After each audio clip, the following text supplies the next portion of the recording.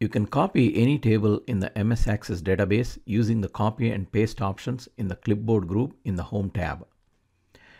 To copy a table, select the table you want to copy and right click on the table in the navigation pane.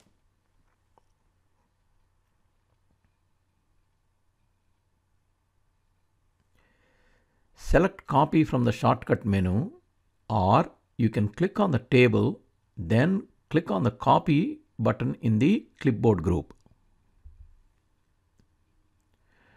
To paste the copy table, right click anywhere in the navigation pane.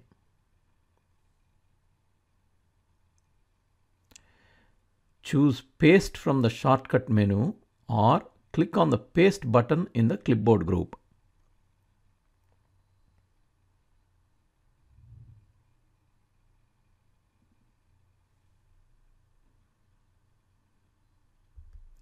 The Paste Table as dialog box appears. It has three paste options, structure only, structure and data, append data to existing table. Now enter the name of the new table.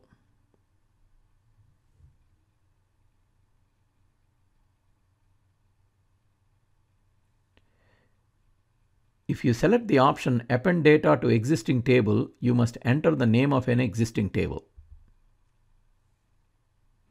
Select the option structure only. Click OK.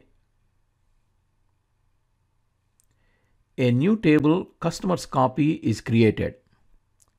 You can see only structure of table is copied and there are no records in the table. Now try to copy employees table and click on paste.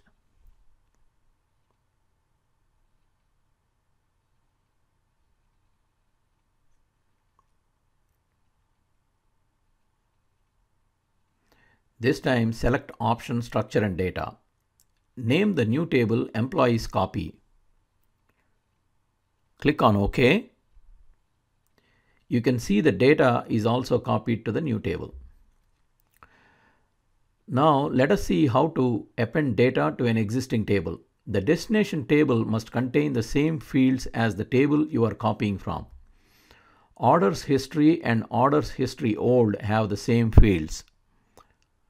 Orders history has orders from 61 to 81 and orders history old has orders from 30 to 60. Let us append the data from orders history old to orders history.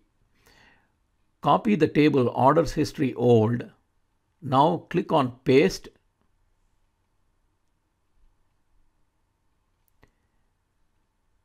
Choose append data to existing table. If you try to append to a table which does not have the same fields, Access will give an error.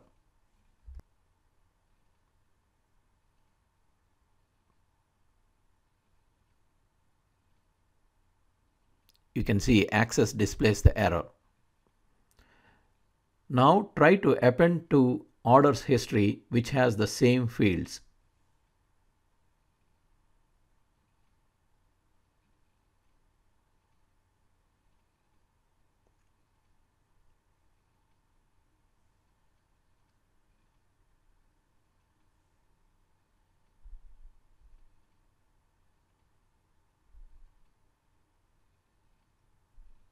Click on OK.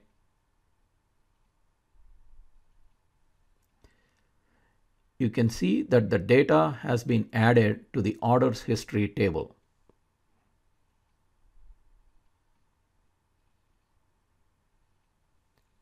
If you like this video, please subscribe to our channel.